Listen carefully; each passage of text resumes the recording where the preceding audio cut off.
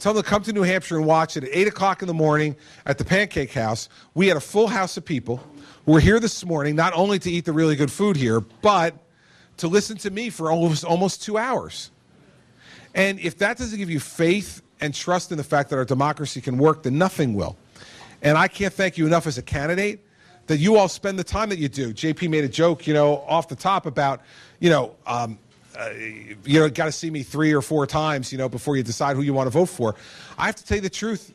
I take that as a compliment. I do because it shows how much you care about vetting the candidates who are going to be left for the rest of the country. Because after you all vote, there'll be a lot of candidates that are going to leave this race. And you're going to be the ones who are going to decide who's left for the other 48 states to decide. And the fact that you take that responsibility so seriously gives me renewed confidence in doing it and coming here and working as hard as we're working and having done 29 town halls already. And I don't know how many we're going to wind up doing by the time we get to February 9th, but if we're at 29, I did, I've done four in the last 24 hours. I started yesterday at 8 o'clock in the morning. We did three yesterday, and then we did this one this morning. So we did four in 24 hours. So if we keep up at, keep up at that pace, I don't know how many that'll, because I'm not a math major. I don't know how much that'll be. But for you guys who are really good at math, you can figure it out for me. But it'll be a lot. We'll be back next week.